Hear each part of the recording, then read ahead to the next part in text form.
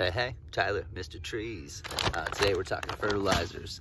Uh, I'm going to give you a quick and easy way on how to understand what your fertilizer is doing, what it's supposed to do, uh, and how to, you know, kind of sort through the madness on the shelf. So let's get into it. Uh, first of all, I'm not sponsored by any of the companies or any of the brands or anything that I'm going to show here. Um, just stuff that I had lying around that would serve as a good example. So here we go without further ado uh, fertilizers. Most all fertilizers will have three numbers. Uh, it'll sometimes be on the front, which is really nice. Sometimes it'll be on the back, which is, is okay. Um, usually you'll find it right there, uh, pretty prominent on any bag of fertilizer. It's a main feature. Uh, basically, that is your nitrogen, phosphorus, and potassium, or NPK. Don't need to know any of that. It's not super important. Uh, you're just trying to get something for your for your roses and get on with your day.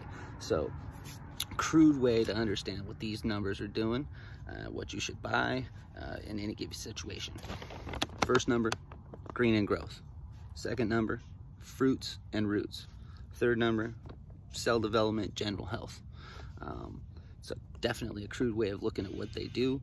But if you look at any label for any type of marketing example, uh, say lawn fertilizer will always be a high nitrogen or higher first number on the bag. And it's 21, 00, 18, 6, 8, whatever. There's, there's a billion different ratios. But the point is the first number will always be higher because all they care about for a lawn is green and growth.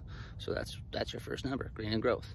Um, if you're growing roses or vegetables or things that flower and fruit, and you're in that stage, something with a higher middle number, it would be your suitable fertilizer. And if you look on the shelf, uh, rose fertilizers, bloom fertilizers, vegetable fertilizers, you'll see that middle number will be higher than all the rest. Um, it's uh, it's just kind of a mathematical, quick and easy way to look at it. Hey, boom, green and growth, fruits and roots, general health. And whatever your application, whatever you're looking for, organic, non-organic, you'll at least know what that fertilizer is going to push your plant and your soil to do. Um, so when you're dealing with organics, you have a second feature, which is really cool. Um, you'll have your regular old NPK, and then you flip it over, and next to your NPK and your ingredients, which is pretty cool. It's alfalfa, fish bone meal, potassium sulfate, and kelp. You know, I can pronounce everything. I like stuff like that. Um, but also right next door, it will have a category for all these living organisms. These are just added like mycorrhiza, uh, bacteria, fungi, all kinds of good stuff that's gonna inoculate your land, your soil, uh, kind of kickstart everything uh, in the soil food web, get your plants cycling and eating, and the food that they're in, the alfalfa and the stuff, is also a food source for them. So while they're in there, they can, you know, they can break it down. They're used to breaking that down. That's a that's a good good food source for them. So um, when you're dealing with the organic stuff, it's really nice because some of them will have that added benefit of, of some living microbes um, for inoculation.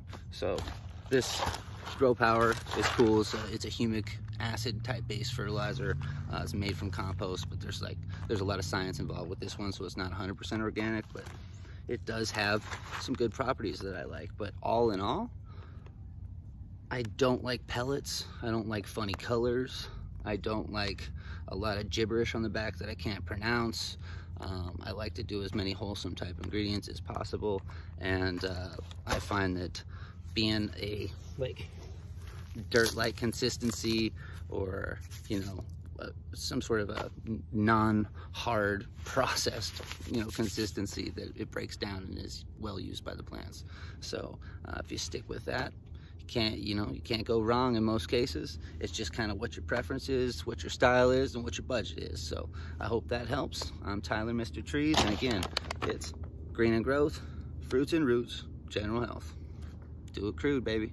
Have a good day. I appreciate everybody for uh, watching. Uh, subscribe tell your friends. Uh, let's let's make a thing out of this. Have a good day